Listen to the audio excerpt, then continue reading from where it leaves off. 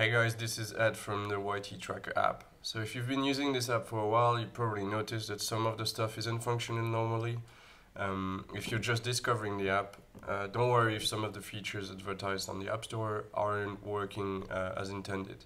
I'm aware of the issue and I wanted to give you um, an explanation on why this is happening, what I'm doing to fix it, and uh, when you can expect uh, the situation to improve. So first of all, why is it happening? Well, uh, a little over a week ago, YouTube revoked my server access. So basically, inside the app, to load all the data from your channels, I need to access the YouTube servers. And um, the app was growing, so I needed to request more quota to access these servers because we have a limit as developers and we can extend that limit by asking YouTube for it. So the app was growing, so I did request for more quota. And surprisingly, instead of giving me more quota, they deleted my quota and it went down to zero. That basically means YouTube Tracker cannot call um, the servers and cannot pull any data from, from, uh, from YouTube's servers. And that's why you don't see anything loading properly in the app. That's why the video tags are not working. This is why you cannot load um, video thumbnails to create your beautiful social media posts. This is why everything is broken. So I negotiated with YouTube. I tried to make uh, them see reason, and uh, I had a call with them yesterday.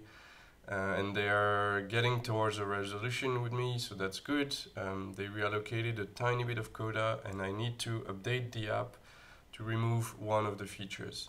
Um, they basically had a problem with one of the features inside the app, which is the prediction model, uh, because they they don't feel like this is a, feature that's compliant with their uh, terms of use.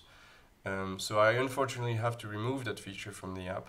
Uh, but don't worry, once everything is resolved, I will be adding uh, much more features for you guys. So hopefully uh, we can all continue to work on this together and you can continue working on your channels and use YT Tracker to grow. So what's going to happen next? I'm going to work on an update to fix the features that YouTube wants me to fix. So that's the first thing. Once this update goes out, the app will still be broken until YouTube reviews it. Because once they review it, they will see that I fixed everything, they will reallocate my quota and even uh, hopefully increase my quota so we can sustain the traffic. And then everything should be starting to go back to normal. So all I'm asking is a bit more patience. Um, I know what's going on. I know what to do next. Um, it's just a matter of time until everything gets back to normal. I wanted to take this opportunity as well to thank all of you who are still hanging around and and being patient and who message me and support me in this uh, kind of uh, tricky moments because it's not really fun as a developer to go through this knowing thousands of you guys are waiting. Um, so I'm really grateful for this. Um, to all the people who recently upgraded, please bear with me. It's going to be fixed and everything's going to go back to normal. If you see that the next update doesn't solve this, the problem until YouTube reviews everything, please do not drop one star reviews. This is really killing uh, the app and I know where the solution is. So it's just a matter of time. If you're not happy with something, go in the about tab inside the app message me leave your email and we can we can talk about it. I'll let you know how i can fix everything. Uh, but one star reviews are impacting the app in the long run and that's really bad for me as a developer because if the app is not as successful as it is i cannot work on it anymore. And that's not good for you guys because i cannot then add features that you guys love.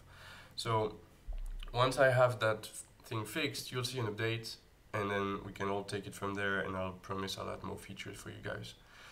Thank you for listening, sorry about all this mess and um, if you have any questions, concerns, suggestions, anything, just drop them in the comments below. I'll be checking in and replying to everyone.